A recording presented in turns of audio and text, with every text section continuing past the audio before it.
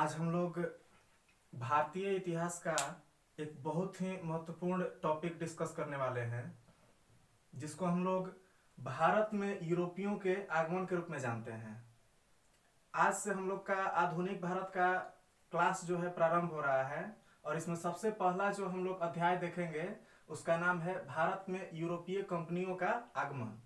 क्योंकि ऐसा माना जाता है कि भारत में आधुनिक भारत की अगर बात की जाएगी आधुनिक भारतीय इतिहास की तो आधुनिक भारतीय इतिहास का प्रारंभ जो है, वो यूरोपियों के आने के बाद से ही माना जाता है।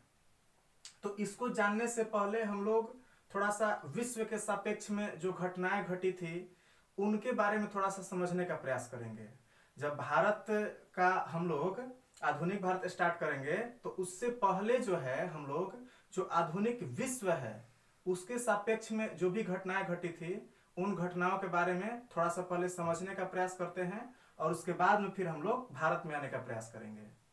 तो सबसे पहले पहले हम लोग ये जानेंगे कि एक डेट जैसे कि इतिहास में एक डेट जो है वो बहुत ही इंपॉर्टेंट है, चौदह तिरपन का। चौदह तिरपन। इस डेट को हुआ क्या था कि जो पवित्र रोमन साम्राज्य है, जिसको कि मतलब कि बैजंतनी साम्राज्य के रूप में भी जाना जाता था, पूर्वी रोमन साम्राज्य। उसकी राजधानी थी, जिसको कुस्तनतुनिया कहा जाता था।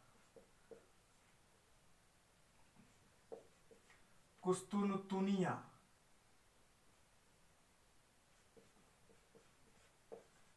तो इस कुस्तुनतुनिया पर तुर्कों का अधिकार हो गया था।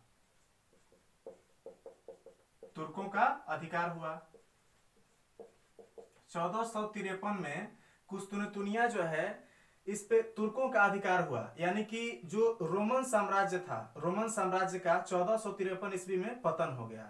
और रोमन साम्राज्य के पतन के पश्चात जो है, यहाँ पर पुनर्जागरण की शुरुआत मानी जाती है।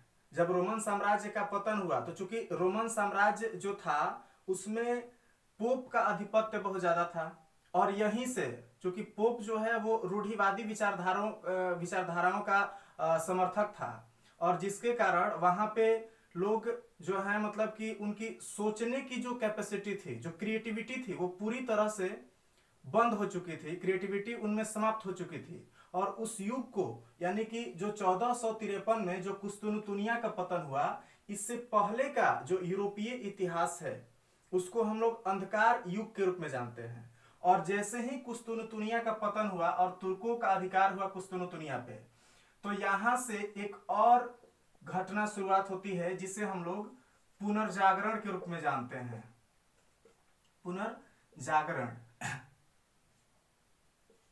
और पुनर्जागरण का शाब्दिक अर्थ की अगर हम लोग बात करें तो इसका होता है बौद्धिक जागरूकता।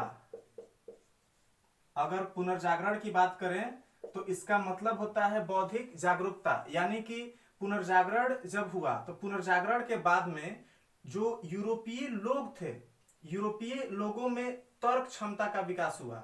वो किसी भी घटना के पक्ष में या विपक्ष में तर्क प्रस्तुत करने की उनमें क्षमता का विकास हुआ और इसीलिए इसको पुनर्जागरण के रूप में जाना जाता है। पुनर्जागरण के फलस्वरूप जो है, यहाँ पे एक बहुत ही मतलब कि बदलाव होने लगे पुनर्जागरण के बाद में यहाँ पे यूरोपीय देश जो हैं, वहाँ पे बहुत ही अलग अलग तरह के बदलाव होने लगे।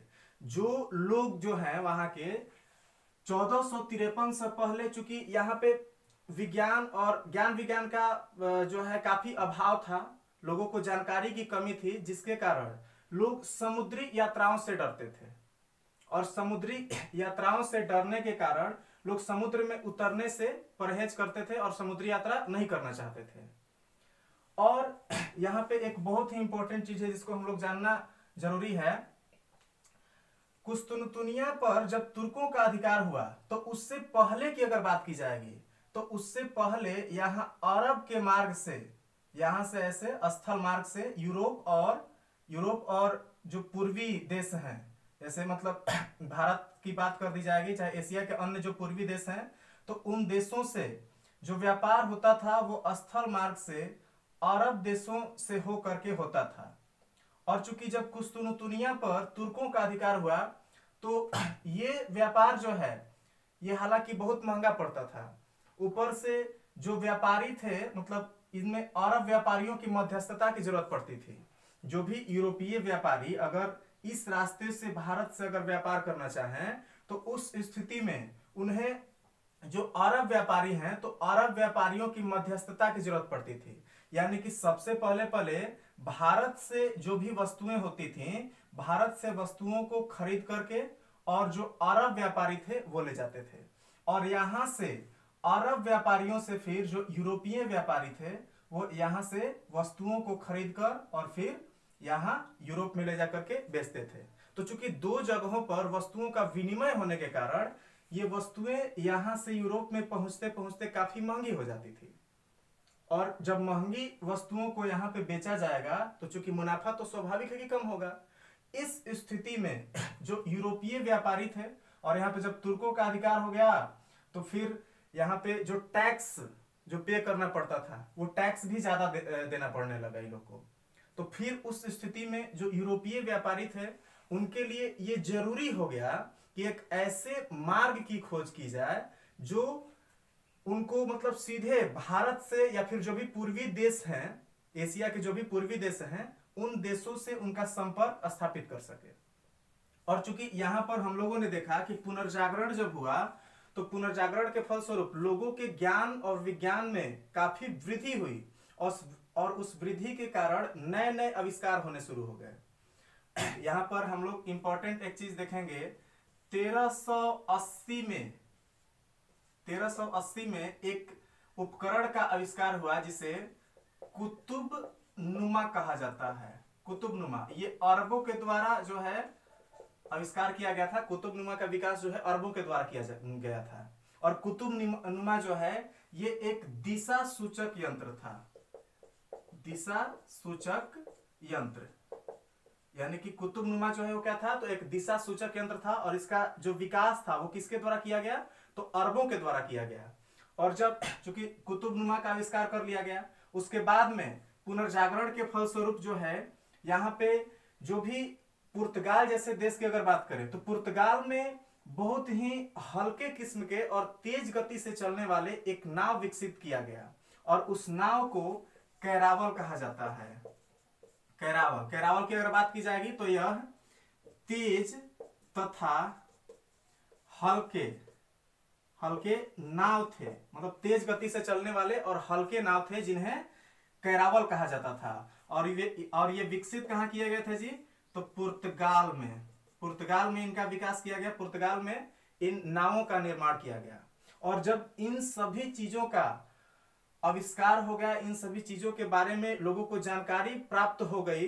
तो उसके बाद में कुछ राजा भी हैं, जिनको हम लोग जान लेंगे तो ज़्यादा बहुत बढ़िया रहेगा।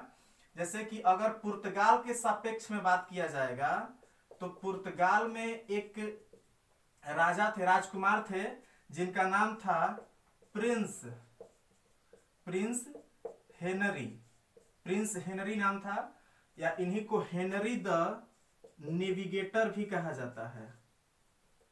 Henry the navigator. तो प्रिंस हेनरी द नेविगेटर जो है, इन्होंने समुद्री यात्राओं को काफ़ी प्रोत्साहित किया और जो भी समुद्री यात्री थे, उनको इन्होंने खास करके बहुत मतलब आर्थिक हर तरह से सहायता की, जिसके कारण की समुद्री यात्राओं में जो यूरोपीय देश के जो लोग थे, वो मतलब बहुत ज़्यादा रुचि लेने लगे।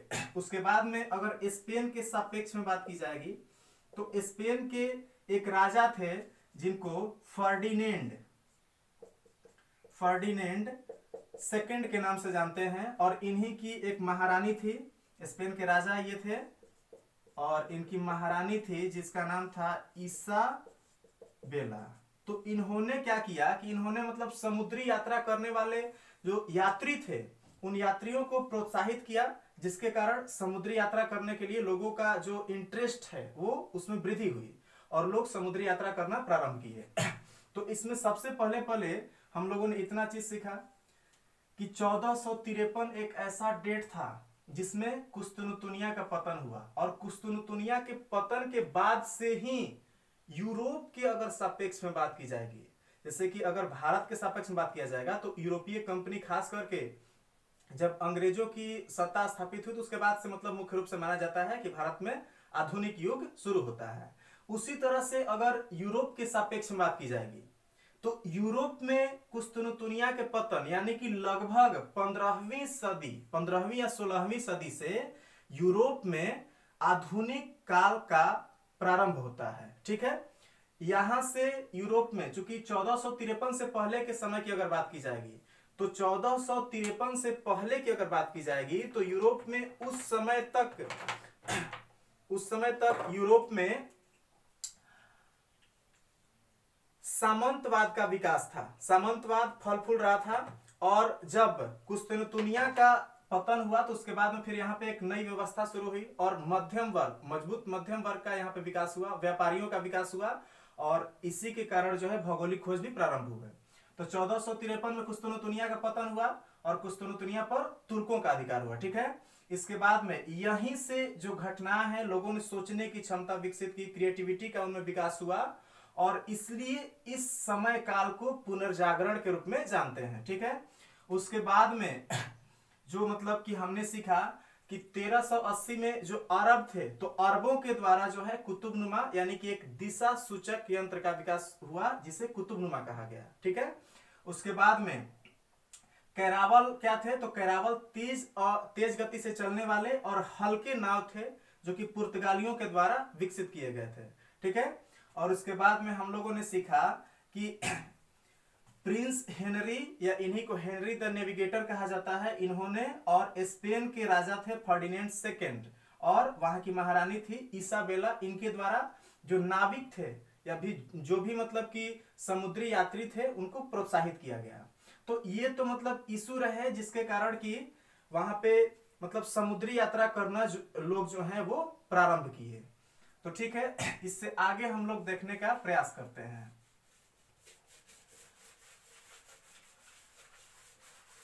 इससे आगे अगर देखा जाए तो सबसे पहले पहले हम लोग ये समझेंगे कि जब समुद्री यात्रा करना प्रारंभ हुआ तो इस दिशा में सबसे पहला जो प्रयास था, वो देखा जाए तो यहाँ पे एक नाविक थे जिनका नाम था बार्थोलोमियो डियाज। तो बार्थोलोमियो डियाज ने यहाँ से इस मार्ग से मतलब ये निकले और यहाँ से ऐसे होते हुए और समुद्री तट के सहारे, जो समुद्री तट है, उस समुद्री तट के सहारे उन्होंने सबसे पहले पहले जो दक्षिण अफ्रीका का दक्षिणतम बिंदु है, यहाँ पे इसको हम लोग जानते हैं उत्तम आशा, अंतरीप। तो उत्तम आशा, अंतरिप तक इन्होंने सबसे पहले पहले पहुँचने का कार्य किया। तो सबसे पहले पहले कहा जाए कि उत्तम आशा, अंतरिप तक पहुँचने वाले सबसे प्रथम अगर यूरोपीय यात्री की बात की जाएगी तो कौन थे? तो Bartolomeu Dias. Bartolomeu Dias. Bartolomeu Dias जो है, उन्होंने सर्वप्रथम मतलब उत्तम आशा अंतरिक्ष और उत्तम आशा अंतरिक्ष है क्या जी?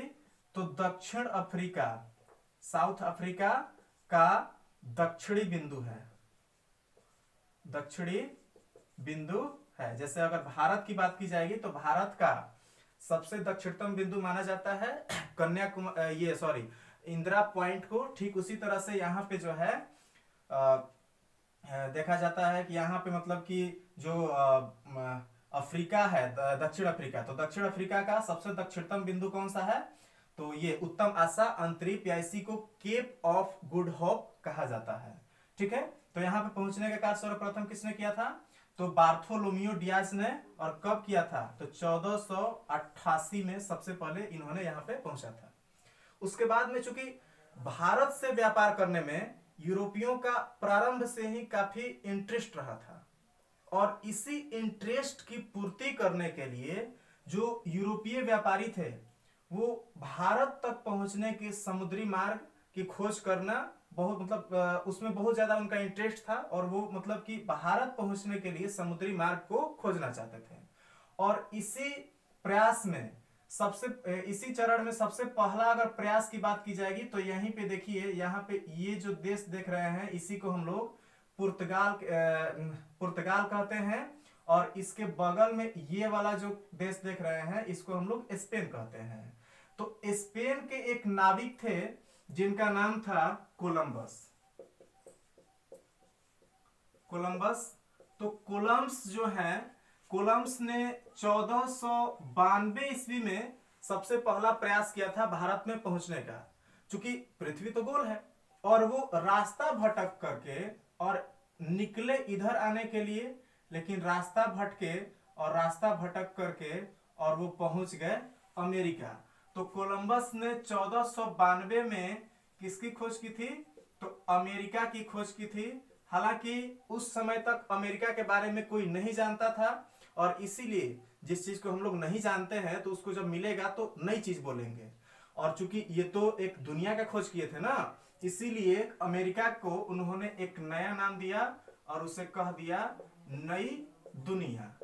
ठीक है? तो सबसे पहले पहले चौदह ईस्वी में कोलंबस ने किसका खोज किया था? तो अमेरिका का, और उसे क्या नाम दिया था? नई दुनिया नाम दिया था। और यहाँ पे रहने वाले जो लोग थे, उन लोगों को उन्होंने रेड इंडियन कहा था। इन्होंने यहाँ पे रहने वाले लोगों को क्या बोला था? तो रेड इंडियन, ठीक है? इसके बाद में, हालाँकि बाद में चल के और एक अमेरिगु वेस्पुस्सी नाम के एक नाविक थे और वो जब यहाँ पे अमेरिका में पहुँचे तो उन्हीं के नाम पे यहाँ पे इसका नाम अमेरिका रखा गया, ठीक है? उसके बाद की अगर हम लोग बात करें तो चूँकि अभी तक तो भारत पहुँचने के लिए कोई समुद्री मार्ग खोजा नहीं गया था तो फिर अगला जो प्रयास किया गया, वो प्रयास किया गया पुर्तगाल के, ये स्पेन के थे। अगला प्रयास जो है, वो पुर्तगाल के एक नाविक थे, जिनका नाम था वास्को डी गामा तो वास्को डी गामा ने अगला प्रयास किया भारत में पहुँचने का। और वो पहले ऐसे समुद्री यूरोपीय यात्री थे। पुनर्जागरण के बाद में अगर बात की जाएगी तो पहले ऐसे समुद्री यात्री थे जो भारत में पहुँचने में सफल हुए। उन्होंने यहाँ से ये रास्ता पकड़ा। और इस रास्ते से चलते हुए वो सबसे पहले पहले अगर देखा जाए तो वो पहुँचे दक्षिण अफ्रीका के दक्षिणतम बिंदु जिसे बार्थोलोमियो डियाज ने खोजा था, उस बिंदु पे पहुँचे, यानी कि उत्तम आशा अंतरिप पे पहुँचे। और उत्तम आशा अंतरिप पे, सबसे पहले पहले ये कहा पहुँचे जी? तो उत्तम आशा अंतरिप, उत्तम आशा अंतरिप पे पहुँचे, और उत्तम आशा अंतरिप पे पहुँचने के बाद में यहाँ पर इनकी मुलाकात जो हो है वो एक भारतीय व्यापारी थे और उनका नाम था अब्दुल मजीद। तो अब्दुल मजीद से इनका मुलाकात हुआ और अब्दुल मजीद की सहायता से ही जो आ, ये वास्को डी गामा जो है अब्दुल मजीद की सहायता से फिर भारत पहुँचे। और भारत में सबसे पहले अगर पहुँचने की बात की जाएगी तो देखिए, यहाँ से ऐसे घूमते हुए और जो यहाँ पे इस बिंदु को देख रहे हैं, इसी को कहा जाता है काली कट तो जो वास्को डिगामा है, वास्को डिगामा सबसे पहले पहले भारत के कालीकट बंदरगाह पे पहुँचे। और कालीकट के अगर राजा की बात की जाएगी तो उस समय यहाँ का राजा जो है वो जमोरिन था।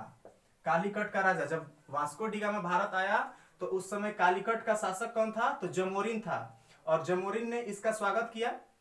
ये भारत में पहुँचने वाले प्रथम यूरोपीय यात्री थे, जो कब पहुँचे? तो चौदह सौ अंठानबे चौदह सौ अंठानबे ईस्वी में ये भारत पहुँचे और भारत में पहुँचने वाले ये प्रथम यूरोपीय यात्री थे। इसीलिए इनको कहा जाता है कि वास्को डी गामा ने भारत की खोज किया था। हालाँकि एक बात हम लोग यहाँ पे क्लियर कर ले कि भारत जो है, भारत का अगर इतिहास देखा जाए तो भारत का इतिहास तो लगभग लगभग पाँच हज़ार साल पुराना है, ठीक? तो इसको खोजने की तो ज़रूरत नहीं थी, लेकिन हाँ इन्होंने क्योंकि इतना बड़ा मेहनत करके इतने लंबे समुद्री यात्रा को करके और भारत में पहुँचने का कार्य किया था, इसीलिए इनको श्रेय दिया जाता है कि इन्होंने भारत की खोज किया था। हालाँकि भारत की खोज करने की तो कोई ज़रूरत थी नहीं, भारत तो ऑलरेडी पहले से प्रेजेंट था। और यहाँ पे इन्होंने समुद्री मार्ग का खोज किया था, भारत में पहुँचने का, ठीक है? उसके बाद में अगर देखा जाए तो वास्को डिगामा ने जब यहाँ पे आया तो जमोरिन से उन्होंने व्यापारिक अधिकार प्राप्त किए और व्यापार करने की अनुमति ली।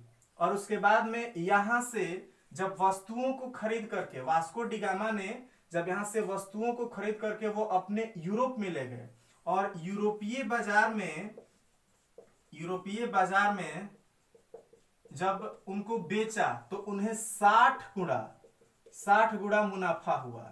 यानी कि जितनी भी वस्तुएँ खरीदी थी तो जो उनका क्रय मूल्य था, वो क्रय मूल्य के अपेक्षा साठ गुना वास्को डिगामा को यहाँ से मुनाफा हुआ। यहाँ की वस्तुओं को जब यूरोपीय बाज़ार में बेचा गया तो। ठीक है? तो जब देखिए, इतना अधिक अगर मुनाफा किसी चीज़ में दिखने लगे तो लोग तो स्वाभाविक है कि आकर्षित होंगे। कि जी बहुत ज़्यादा मुनाफा हो रहा है। और अगर बहुत ज़्यादा मुनाफा हो रहा है तो बहुत सारे अन्य जो यूरोपीय व्यापारी थे, उनके भी उनके भी अंदर एक इच्छा जगी कि हम भी जा करके और भारत से व्यापार करने का कार्य करें। और इस कड़ी में अगला जो नंबर आता है, वो पुर्तगाल के ही एक व्यापारी थे, जिनको कहा जाता है Pedro Pedro Alvares. Pedro Alvares Cabral, इनका नाम था, और ये भारत में 1500 सौ ईस्वी में पहुँचे 1500 सौ ईस्वी में। और 1500 सौ ईस्वी में ये दो जहाजी बेड़ों के साथ आए, और इन्होंने आ करके फिर यहाँ पे व्यापार किया और यहाँ से वस्तुओं को फिर ये भी ले गए, यूरोपीय बाज़ार में। ठीक है? उसके बाद में अगर बात की जाएगी तो दूसरी बार दूसरी बार फिर से जो वास्को डिगामा है। ये दूसरी बार फिर से आए कब? तो 1502 ईस्वी में। और फिर से यहाँ पे व्यापार का, फिर इसके बाद में यूरोपियों के व्यापार का, पुर्तगालियों का यहाँ पे भारत में व्यापार का सिलसिला चल निकला, ठीक है? अब जो है, यहाँ पे एक बहुत ही इंपॉर्टेंट चीज़ हम लोग सीखने का प्रयास करेंगे, ठीक है? तो अभी तक हमने क्या देखा कि भारत में जो यूरोपीय व्यापारी थे भारत में यूरोपीय व्यापारी तो उनमें से सबसे पहले पहले पहुँचने वाले यूरोपीय व्यापारी कौन थे? तो पुर्तगाली थे, ठीक है? कौन सा प्रथम पुर्तगाली व्यापारी भारत में पहुँचा था? तो वास्को डिगामा पहुँचा था। वास्को डिगामा किसकी सहायता से पहुँचा था? तो अब्दुल मजीद नाम के एक व्यापारी थे, भारतीय व्यापारी, उनकी सहायता से पहुँचा था। कहाँ पहुँचा था सबसे पहले पहले? तो कालीकट बंदरगाह में पहुँचा था, केरल में स्थित है। और वहाँ के शासक उस समय कौन थे? तो जमोरिन थे, ठीक है? इसके बाद में अगर बात की जाएगी तो हम लोग अब जो है भारत में एंट्री करने का प्रयास करेंगे। अभी तक हम लोग विश्व के सापेक्ष में देख रहे थे। और भारत के सापेक्ष में अगर बात की जाएगी तो यहाँ पे हम लोग ध्यान देंगे कि सबसे पहले पहले अगर भारत के सापेक्ष में देखी जाए तो सबसे पहले पहले पुर्तगाली आए और अभी जो है हम लोग देखने का प्रयास करेंगे कि जो भी यूरोपीय व्यापारी भारत में आए, यूरोपीय देश जब भारत में आए व्यापार करने के लिए तो उनके व्यापारियों के आने का क्रम कैसा था, वो समझने का प्रयास करेंगे। और इस कड़ी में हम लोग देखेंगे यूरोपीय यूरोपीय कंपनियों यूरोपीय कंपनियों के आगमन, यूरोपीय कंपनियों के आगमन का क्रम देखेंगे, ठीक है? तो सबसे पहले पहले यूरोपीय कंपनियों के आगमन का क्रम देखेंगे।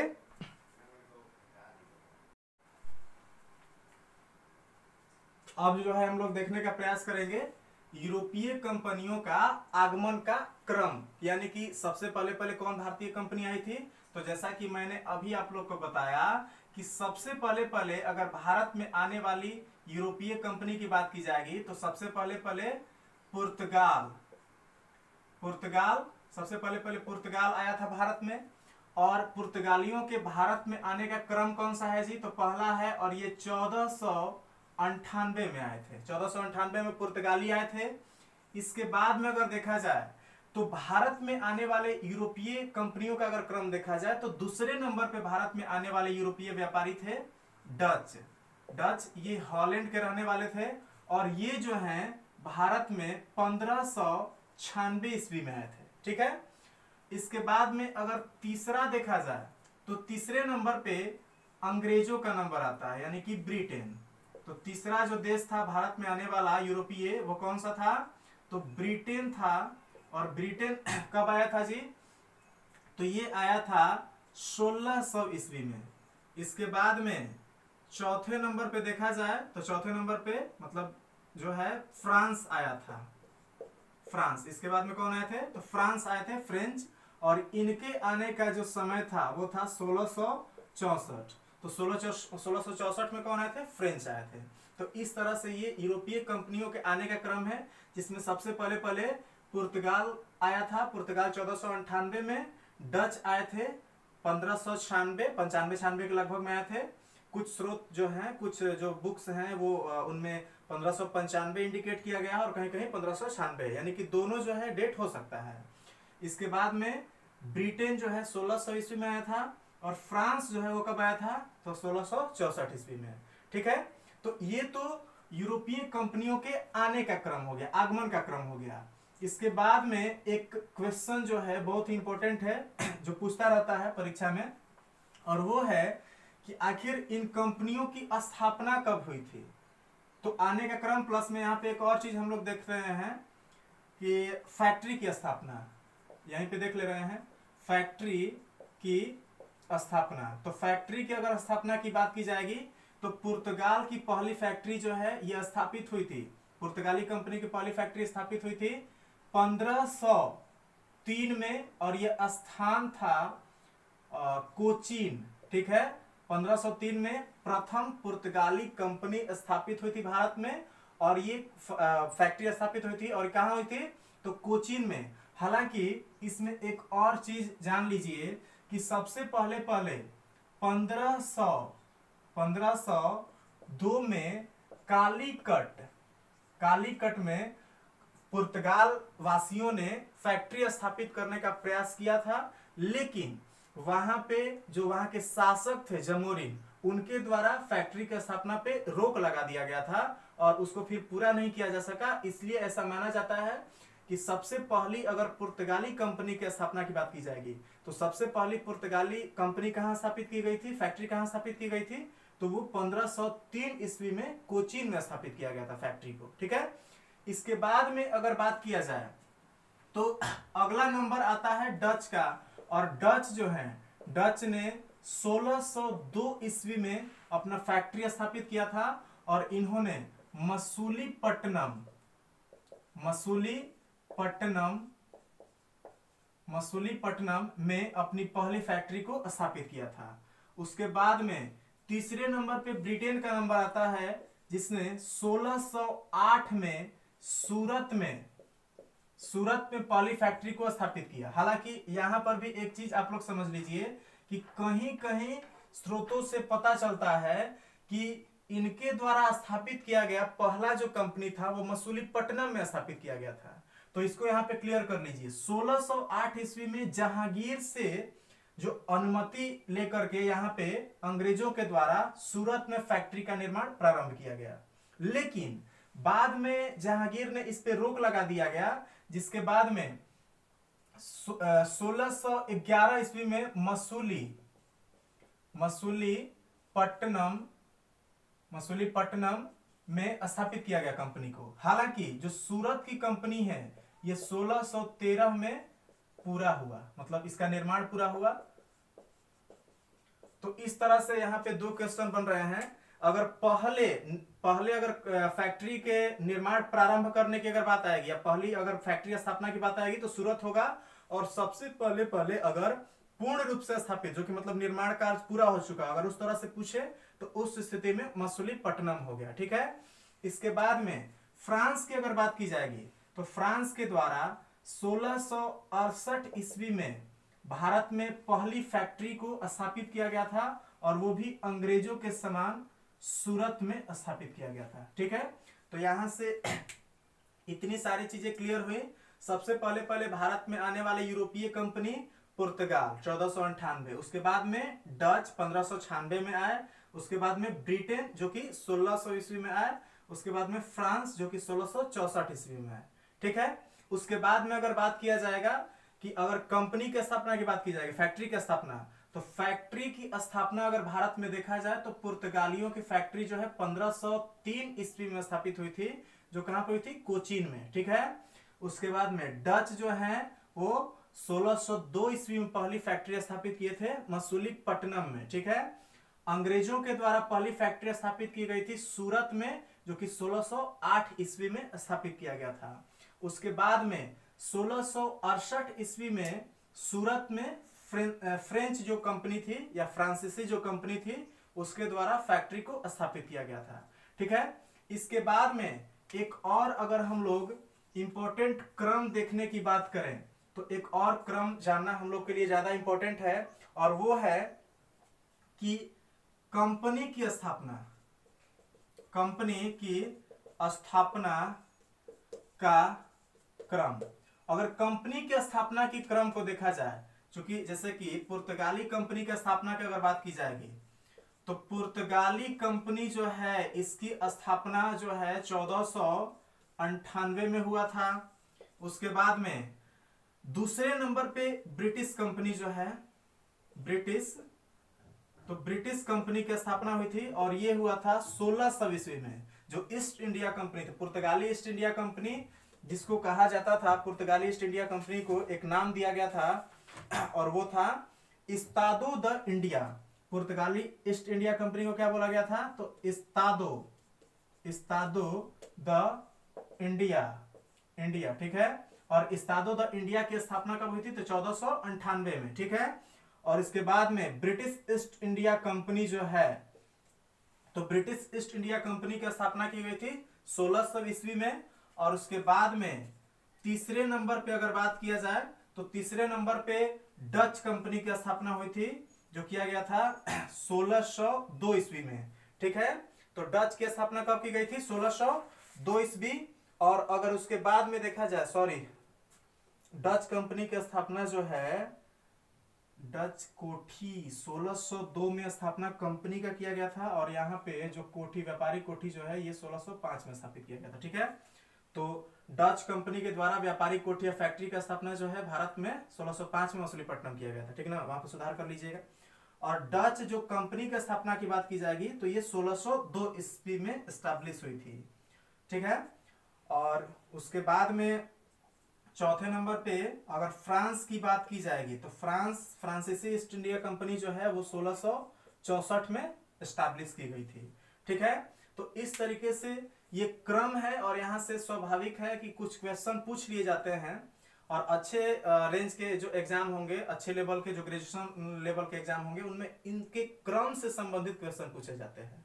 तो इस चीज़ को आप लोग सीख लीजिए, एक बार और से रिपीट कर लेते हैं। पुर्तगाली ईस्ट इंडिया कंपनी का भारत में आगमन चौदह ठीक है? और कंपनी की स्थापना 1503 कोचीन में, ठीक है? उसके बाद में डच की, डच का भारत में आगमन कब हुआ? सोलह पंद्रह और इनकी पहली कंपनी कहाँ स्थापित हुई? फैक्ट्री। तो 1605 ईस्वी में पहली फैक्ट्री स्थापित की व्यापारिक कोठी मसूलीपट्टनम, ठीक है? उसके बाद में ब्रिटेन की अगर बात की जाएगी तो British India British East India company जो है, ये सबसे पहले पहले सोलह सौ ईस्वी में भारत आए थे और 1608 ईस्वी में इन्होंने सूरत में अपना पहला जो है फैक्ट्री स्थापित किया था, ठीक है? उसके बाद में फ्रेंच ईस्ट इंडिया कंपनी सोलह ईस्वी में भारत आई और सोलह में सूरत में अपनी पहली फैक्ट्री जो है स्थापित की ठीक है? उसके बाद में कंपनी के स्थापना का क्रम देखा जाए तो सबसे पहले पहले स्थापना हुआ पुर्तगाली ईस्ट इंडिया कंपनी का, जिसे इस्तादो द इंडिया कहा जाता है। इसके बाद में इसका स्थापना वर्ष चौदह है। उसके बाद में ब्रिटिश ईस्ट इंडिया कंपनी की स्थापना हुई, जो सोलह ईस्वी में किया गया। उसके बाद में तीसरे नंबर पे आता है डच, और डच ईस्ट इंडिया कंपनी 1602 ईस्वी में, और इसको एक और नाम दिया जाता है डच ईस्ट इंडिया कंपनी को, और इसे कहा जाता है वेरिंगदे ओस्त। वेरिंगदे ओस्त इंडसे वेरिंगदे ओस्त इंड से कंपनी। प्रारंभिक तौर पे इसको वेरिंगदे ओस्ट इंडसे कंपनी कहा जाता था, जिसे बाद में United United United East India company of Netherlands. East India company of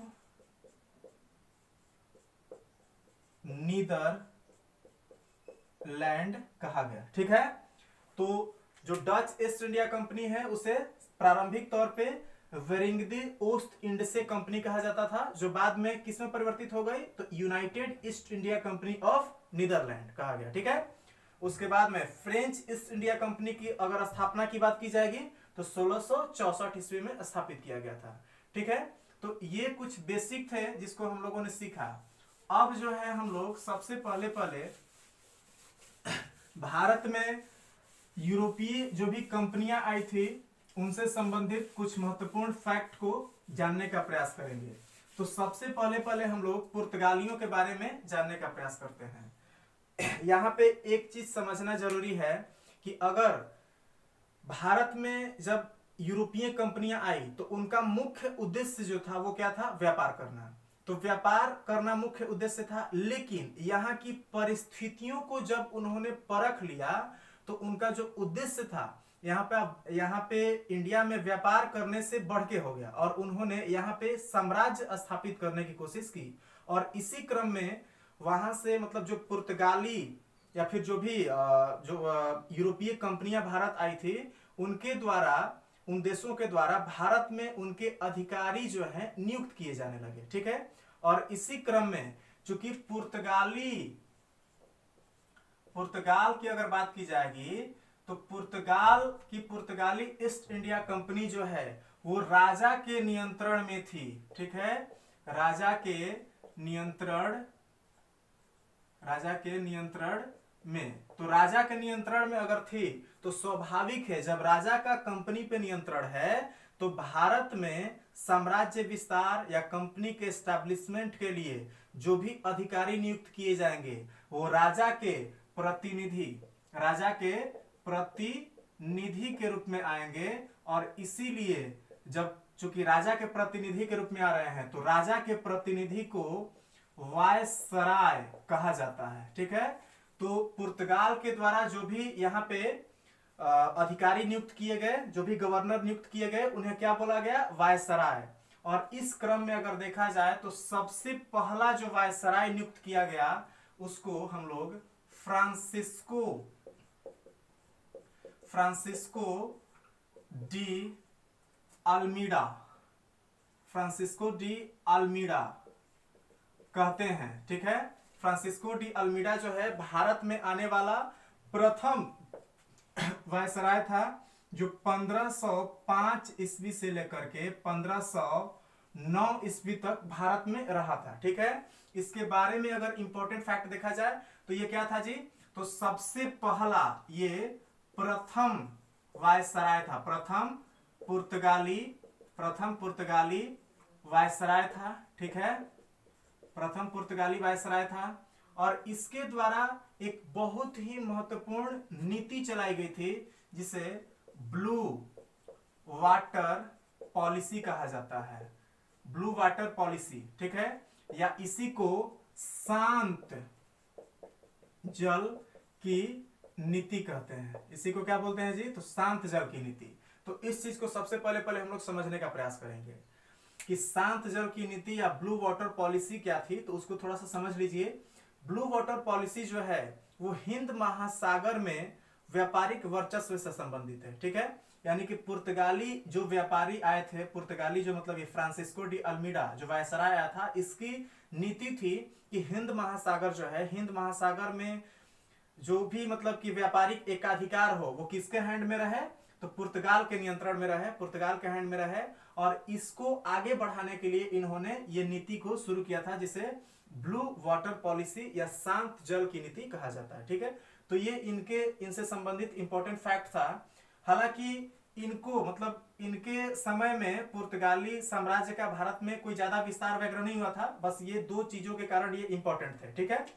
दूसरे नंबर पे अगर देखा जाए तो फ्रांसिस्को डी अल्मीडा के बाद में दूसरे नंबर पे आने वाले गवर्नर जो हैं, उनको उनका नाम था अल्बुकर्क। अल्बुकर्क। तो अल्बुकर्क जो है इनकी नियुक्ति भारत में 1509 में हुई थी और ये भारत में रहे थे 1515 ईस्वी तक ठीक है? और इनके द्वारा बहुत ही महत्वपूर्ण कार्य किए गए थे यूरोप में पुर्तगाली कंपनी की साम्राज्य विस्तार से संबंधित यहाँ पे बहुत ही महत्वपूर्ण कार्य किए गए थे अल्बुकर्क के, के द्वारा। इनके द्वारा सबसे पहला अगर देखा जाए तो अल्बुकर्क जो है, इनको पुर्तगाली साम्राज्य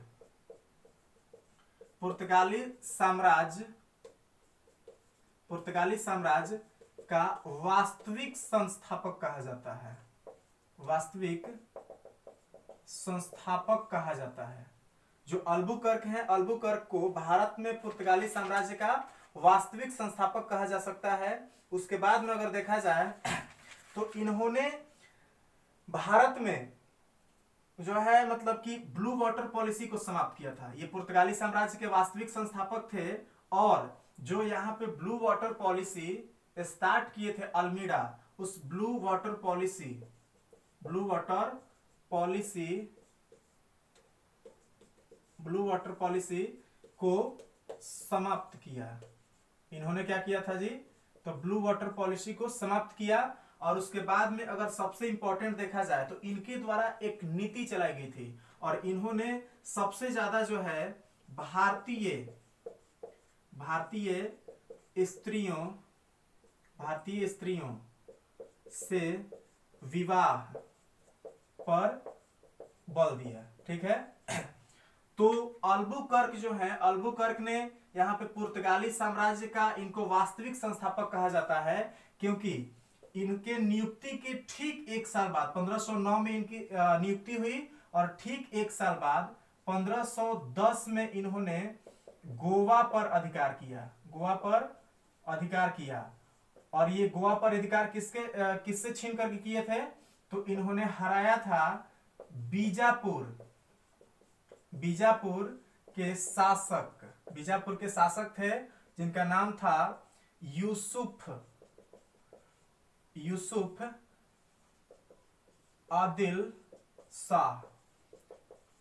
तो बीजापुर के शासक यूसुफ आदिल शाह को पराजित करके और उनसे गोवा को छीनने का जो श्रेय दिया जाता है, वो किसको दिया जाता है? 1510 ईस्वी में। तो अल्बुकर्क को, ठीक है? अल्बुकर्क ने यूसुफ आदिल शाह को पराजित करके और उनसे गोवा को छीना था और गोवा को मतलब गोवा को अपने अधिकार क्षेत्र में, पुर्तगाली अधिकार क्षेत्र में लाया था, ठीक है? उसके बाद में इनका अगला जो कार्य था, वो था ब्लू वाटर पॉलिसी को इन्होंने समाप्त किया। उसके बाद में देखा जाए तो इन्होंने भारतीय स्त्रियों से विवाह करने पर बहुत ज़्यादा बल दिया था, ठीक है? तो इसके कारण ये इंपॉर्टेंट है। उसके बाद में अगर देखा जाए तो इन दोनों के अतिरिक्त जितने भी पुर्तगाली गवर्नर भारत में नियुक्त हुए, उसमें अगला अगर नंबर देखा जाए तो अगला नंबर जो है, वो आता है नीनो डी कुन्हा, ठीक है? Nuno da Cunha. Nuno da Cunha. और नीनो डी कुन्हा के बारे में अगर देखा जाए तो ये भारत में नियुक्त होने वाले नौवे वायसराय थे, ठीक है? ये भारत में नियुक्त होने वाले कौन वायसराय थे? तो नौवे वायसराय थे और इनके बारे में सबसे इंपॉर्टेंट अगर कोई चीज़ देखा जाए तो इन्होंने अपनी राजधानी को कोचीन कोचीन से गोवा गोवा राजधानी स्थानांतरित किया।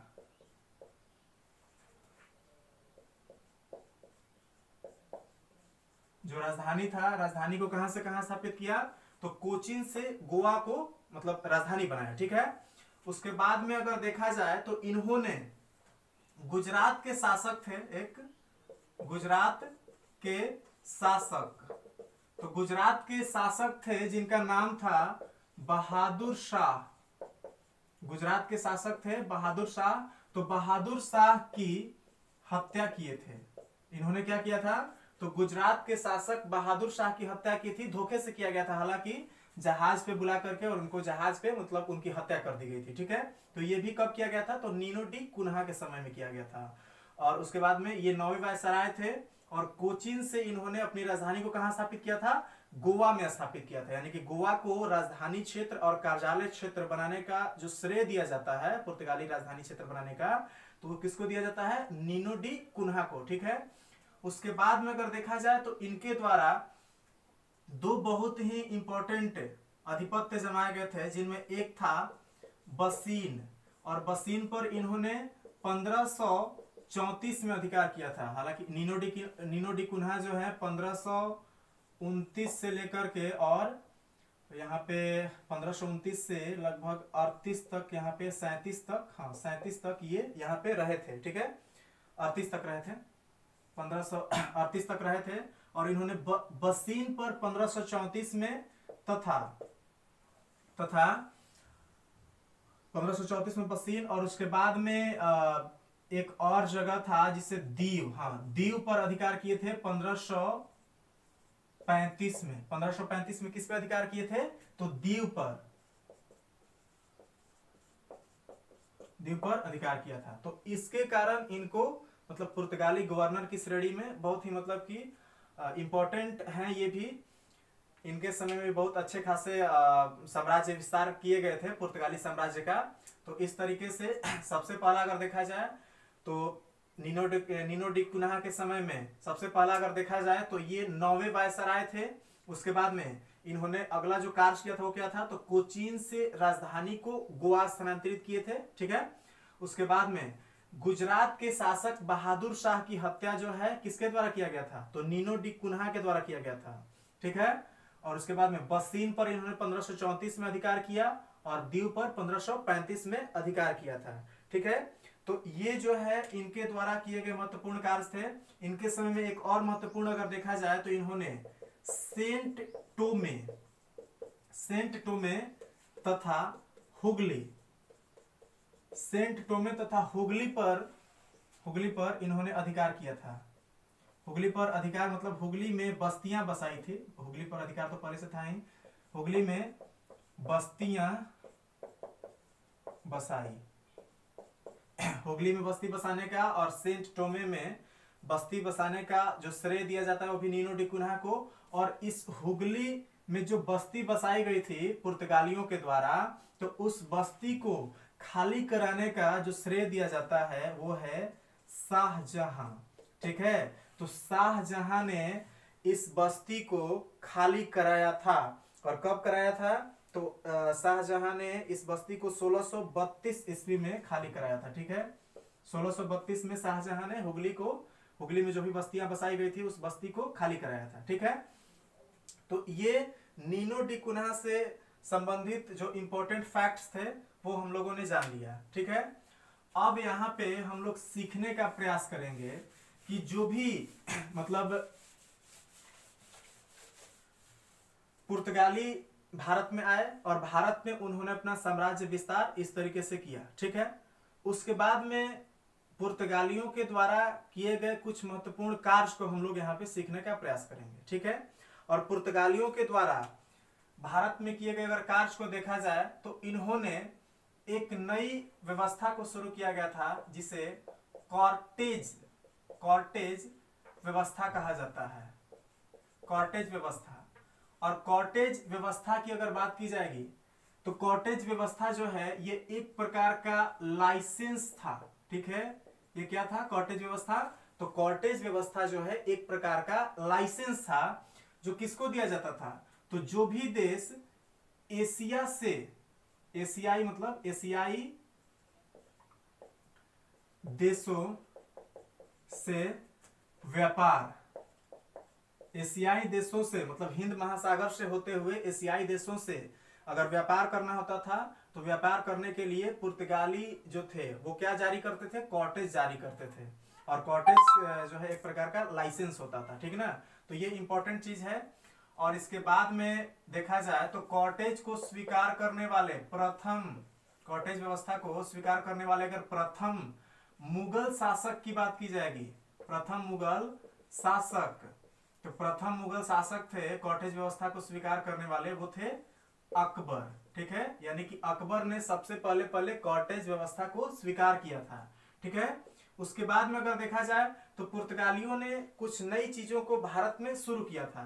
जिसमें अगर देखा जाए तो printing press printing press printing press इसके बाद में देखा जाए तो अगला जो है यहाँ पे नाव निर्माण। नाव का निर्माण इन्होंने प्रारंभ किया था। मतलब अच्छी तरह की, अच्छी क्वालिटी की नाव को निर्माण करने का जो श्रेय दिया जाता है भारत में, वो भी किसको दिया जाता है? तो पुर्तगालियों को। ठीक है? इसके बाद में इन्होंने अनानास आलू, टमाटर। आलू, टमाटर, अनानास, इन सभी चीज़ों की खेती जो है, सबसे पहले पहले तंबाकू की खेती। तंबाकू की खेती जो, तंबाकू इत्यादि मतलब और भी कुछ थे जिनकी खेती जो है, इन्होंने प्रारंभ किया था।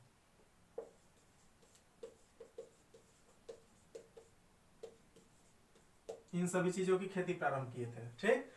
तो पुर्तगाल पुर्तगालियों के द्वारा किए गए इंपॉर्टेंट अगर कार्य को देखा जाए तो इन्होंने क्या किया था? तो सबसे पहले पहले तो भारत में कॉटेज व्यवस्था को इन्होंने शुरू किया था। और कॉटेज व्यवस्था क्या था? तो कॉटेज एक प्रकार का लाइसेंस होता था, जो एशियाई देशों से, हिंद महासागर से होते हुए व्यापार करने के लिए, जो व्यापारिक जहाज़ होते थे, उनको जारी किया जाता था, ठीक है? उसके बाद में यहाँ पे कॉटेज व्यवस्था से संबंधित एक बहुत ही इंपॉर्टेंट फैक्ट कि कॉटेज व्यवस्था को, कॉटेज को स्वीकार करने वाले सबसे पहले अगर मुगल शासक की बात की जाएगी तो सबसे पहले मुगल शासक कौन थे? अकबर थे, ठीक है? उसके बाद में अगर उनके द्वारा और भी किए गए महत्वपूर्ण कार्य देखना है तो भारत में प्रिंटिंग प्रेस को शुरू करने का जो श्रेय दिया जाता है, वो किसको दिया जाता है? पुर्तगालियों को, ठीक है? भारत में नाव, अच्छी क्वालिटी के नाव को निर्माण करने या जहाज़ को निर्माण करने के अगर श्रेय दिया जाता है तो किसको दिया जाता है? पुर्तगालियों को, ठीक है? उसके अतिरिक्त यहाँ पे भारत में उन्होंने कुछ चीज़ों की खेती प्रारंभ की, जिसमें आलू, अनानास टमाटर, तंबाकू, इन सभी चीज़ों की खेती जो है प्रारंभ करने का जो श्रेय है, वो भी किसको दिया जाता है? तो पुर्तगालियों को दिया जाता है, ठीक है? अब जो है, यहाँ पे पुर्तगालियों से संबंधित एक और इंपॉर्टेंट चीज़। यहाँ तक पुर्तगालियों का साम्राज्य जो है, सही तरीके से चल रहा था। इसके बाद में क्या हुआ कि जैसा कि मैप में मैंने दिखाया था कि पुर्तगाल और स्पेन, ये दोनों जो देश हैं, वो एक दूसरे से सटे हुए थे। और फिर क्या हुआ कि कालांतर में पुर्तगाल का स्पेन में विलय हो गया, ठीक? तो पुर्तगाल का जब स्पेन में विलय हुआ तो उस स्थिति में जो पुर्तगाल के व्यापारिक जो क्रियाकलाप थे, पूर्वी देशों के साथ में जो व्यापारिक क्रियाकलाप थे, उस पर इन्होंने मतलब कि शिथिलता अपनाई और फिर इन्होंने धीरे धीरे उसमें रुचि लेना कम कर दिया कम कर दिया, जिसके कारण कि इनका फिर ज़्यादा मतलब विकास जो है भारत में नहीं हो पाया, ठीक? और एक बहुत ही इंपॉर्टेंट चीज़ है जो पुर्तगालियों से संबंधित है। इनकी एक राजकुमारी थी, पुर्तगाल की एक राजकुमारी थी, जिसका नाम था कैथरीन। पुर्तगाली राजकुमारी जिसका नाम क्या था जी? कैथरीन था। और कैथरीन का विवाह जो है, इंग्लैंड के राजकुमार थे, जिनका नाम था चार्ल्स सेकेंड। तो चार्ल्स सेकेंड से कैथरीन का विवाह हुआ और इस विवाह में, विवाह हुआ था, ये कहाँ के थे जी? तो अंग्रेज़ थे और ये क्या थी? तो पुर्तगाली थी। पुर्तगाली राजकुमारी थी और ये अंग्रेज़ राजकुमार थे, ठीक है? तो इन दोनों का विवाह हुआ और इस विवाह में, इस विवाह में बंबई जो है, बंबई जिसपे कि पुर्तगालियों का अधिकार था तो बंबई को दहेज में दिया गया था। बंबई को क्या किया गया था? तो दहेज में दिया गया था। किसको दिया गया था? तो वो अंग्रेज़ों को दिया गया था, चार्ल्स द्वितीय को दिया गया था, ठीक? तो यहाँ तक जो है पुर्तगालियों के बारे में इंपॉर्टेंट फैक्ट्स जो थे, हम लोगों ने देख लिया। अब जो है थोड़ा सा आज के लेक्चर में हम लोग प्रयास करेंगे कि डच से संबंधित चूँकि अगले, अगला नंबर जो है, भारत में आने वाले यूरोपीय व्यापारियों का तो वो डच का आता है, ठीक है? तो जो डच भारत में आए थे तो डचों के द्वारा भारत में किस तरह से व्यापार किए गए? और यहाँ पे मतलब कि किस तरह से उनका मतलब कि विस्तार हुआ या फिर किस तरह से वो यहाँ पे एस्टैब्लिश किए और कैसे उनका पतन हुआ, उस चीज़ को हम लोग समझने का प्रयास करेंगे, ठीक है? तो अगला नंबर जो है, हम लोगों ने जैसे देखा था कि अगला नंबर जो है, वो किसका था? डच का। तो डच के बारे में अगर देखा जाए तो डच सबसे पहले पहले यहाँ पे ध्यान दीजिए कि ये एक नाविक थे जिनका नाम था Cornelius. Cornelius. Cornelius de Houtman. Cornelius de Houtman. तो कॉर्नेलियस डी हाउटमैन एक डच नाविक थे, डच व्यापारी थे। और इनके नेतृत्व में कर्नेलियस डी हाउटमैन के नेतृत्व में सबसे पहले पहले जो है, डच भारत में नहीं आए थे। इन्होंने सबसे पहले पहले अधिकार किया था, सबसे पहले पहले इनका व्यापार जो है, वो शुरू हुआ था सुमात्रा। सुमात्रा से, यानी कि इंडोनेशियाई एक द्वीप है और वहाँ से मतलब इनका व्यापार सबसे पहले पहले प्रारंभ हुआ था, ठीक?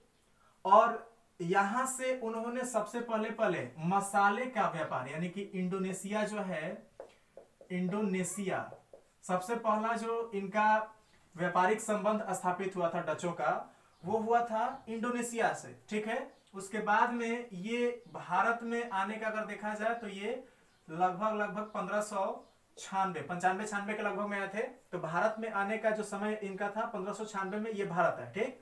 और इंडोनेशिया से प्रारंभिक तौर पे डच जो है, वो इंडोनेशिया से मसालों का व्यापार करते थे, ठीक है?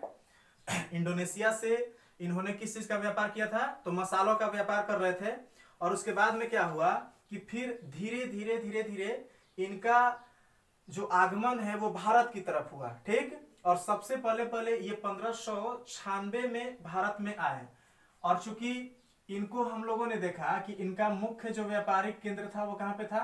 तो इंडोनेशिया में था। तो इंडोनेशिया में मुख्य व्यापारिक केंद्र होने के कारण जो है, इनके अधिकांश अगर हम लोग भारत में फैक्ट्रियों को देखेंगे, कि भारत में डच फैक्ट्रियाँ जो स्थापित की गई थी तो वो देखेंगे कि भारत के पूर्वी तट जो है तो पूर्वी तट पे इनके बहुत ही मतलब अधिकांश जो व्यापारिक फैक्ट्रियाँ थी वो स्थापित की गई थी। ठीक है? और इसमें ध्यान देंगे हम लोग कि सबसे पहली जो फैक्ट्री स्थापित की गई थी डचों के द्वारा तो पिछले मतलब हम लोग जब देख रहे थे तो उस समय हम लोगों ने देखा था कि 1605 1605 में इनकी जो पहली फैक्ट्री जो है वह स्थापित की गई थी। सबसे पहले इनकी फैक्ट्री कब स्थापित की गई थी? तो 1605 में, और यह स्थापित कहा गया क्या था? तो मसूली पट्टनम मसूली पट्टनम में स्थापित किया गया था। ठीक है? उसके बाद में अगर देखा जाए तो